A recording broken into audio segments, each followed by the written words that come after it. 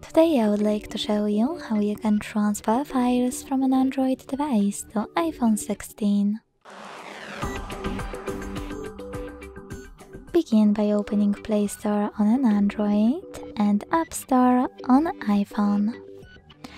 Then download Send Anywhere app on both and when it's ready, launch it. Following that, you need to set it up. Let's start with an Android. Hit I agree and I acknowledge.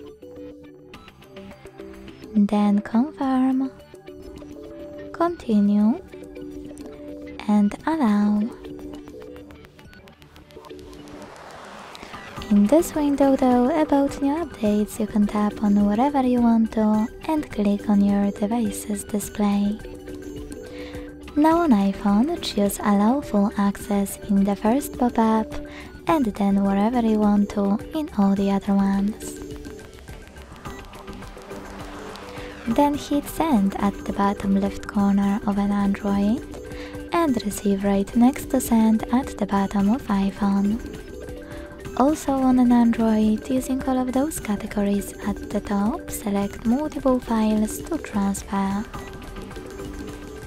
I will go with only a couple, just for example. When you finished, select Send next to selected at the bottom. Choose it in Here's Some Tip pop-up and decide which connection way will be better for you.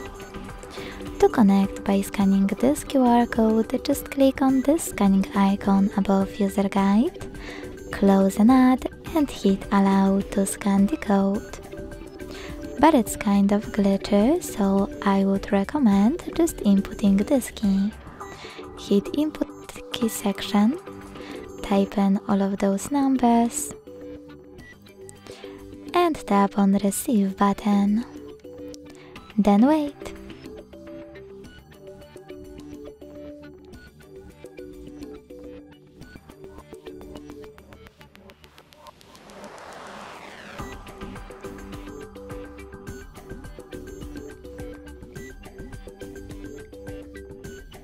As you can see, after that, all of my files were successfully transferred. Thanks so much for watching. If you enjoyed this video, leave a like, comment and subscribe. Bye.